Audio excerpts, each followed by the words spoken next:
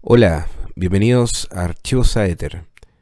Respecto a la muerte del gran científico Humberto Maturana, quiero leer un poema dedicado a él, recordando que el trabajo de Humberto Maturana está presente como una gran influencia en el trabajo de Aeteorus, de la escuela Aeteorus, de Archivos Aether y de Spiritus Sidereum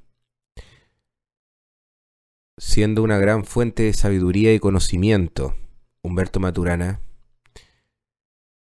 y una gran influencia, por lo tanto, a nivel personal, contagiándome con la pasión por la ciencia como método para encontrar la verdad.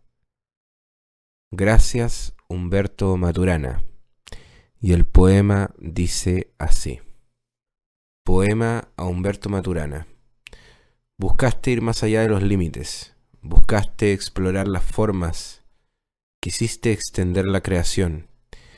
Con los ojos serenos como un niño que cree en la vida y su misterio, nos mostraste la existencia y su naturaleza.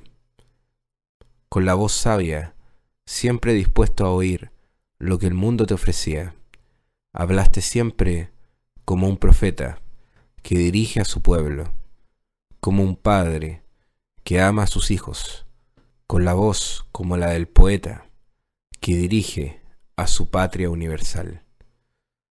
Buscaste en el corazón humano, buscaste en la profundidad de la razón, quisiste entender lo desconocido del ser.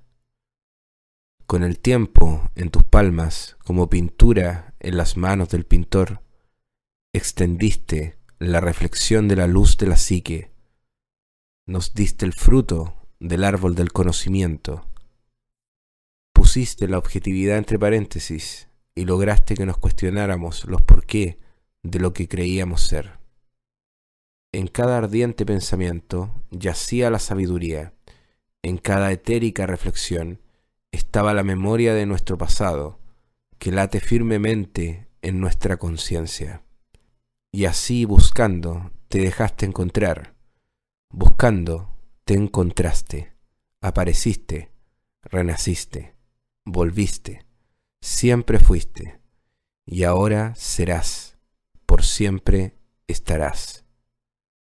Tu amor a la verdad y la sabiduría vive en la ciencia y vive en los corazones puros de los buscadores que amamos a la humanidad que vamos a lo trascendente, que apreciamos lo metafísico, lo que está más allá de los límites, lo que extiende la reflexión.